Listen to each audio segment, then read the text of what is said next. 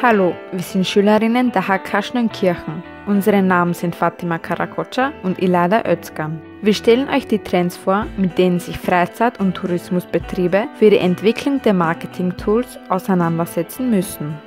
Erstens gesellschaftliche Entwicklungen. Dazu gehört die politische Veränderung. Da Reiseanbieter auf Sicherheit achten müssen, ist es nicht möglich, ein Hotel in Kriegsgebieten bzw. in der Nähe eines Kriegsgebiets anzubieten. Demografische Entwicklung. Durch die Medizin ist die Lebenserwartung eines Menschen gestiegen. Die Zahl der Pensionisten hat sich erhöht, jedoch hat sich die Zahl der Jugendlichen vermindert. Wertewandel. Er führt dazu bei, dass die Erwartung der Menschen an die Freizeit- und Urlaubsgestaltung gestiegen ist. Damit ist das ökologische Bewusstsein, das Gesundheitsbewusstsein und Zeitbewusstsein gemeint. Höhere Bildung und bessere Information.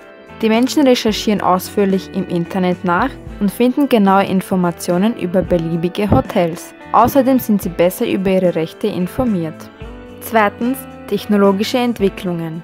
Das Internet ist die Grundlage für viele Entscheidungen und auch für neue Reisewege. Bevor man sich für eine Reise oder für ein Freizeitinteresse entscheidet, recherchiert man detailliert im Internet über die Angebote nach. Drittens wirtschaftliche Entwicklungen. Durch Kursschwankungen wird der Urlaub für Kunden teurer oder billiger. Zum Beispiel in den USA sind die Kurse der Währungen gestiegen und der Urlaub dort ist somit relativ teuer geworden. Wir hoffen, die Informationen könnten euch helfen und danken fürs Zuhören.